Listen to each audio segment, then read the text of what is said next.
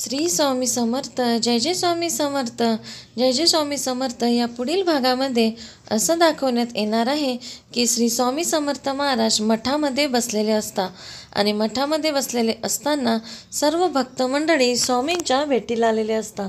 त्यावेळेस सुंदराबाई म्हणती की तुम्ही सर्व भक्तांना सांगा की आता सगळ्यांनी माझं ऐकायचं आहे. मी तुमची एकमात्री सेवेकरी आहे आणि या पूर्ण मठाची जबाबदारी माझ्यावर आहे. त्यावेळी स्वामी म्हणता हो का? आणि सगळे भक्त मंडळी असताना आणखीन एक व्यक्ती तिथे येतो. तो व्यक्ती स्वामींचं दर्शन करतो आणि स्वामी म्हणता हाच तो व्यक्ती आहे जो आता पूर्णपणे मठाची जबाबदारी स्वीकारणार आहे.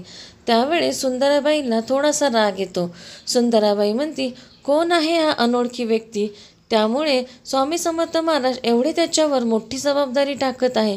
आता बघूया तो व्यक्ती कोण आहे जो मठाचा आता जबाबदारी स्वीकारणार आहे. मठावर सत्ता गाजवणार आहे आणि स्वामींनी त्या व्यक्तीची नेमणूक का केली आहे? पुढील भागात पाहण्यासारखं आहे की श्री स्वामी समर्थ महाराज मठाची जबाबदारी अशा कोणता जो व्यक्ती आहे की त्याच्यावर देतात.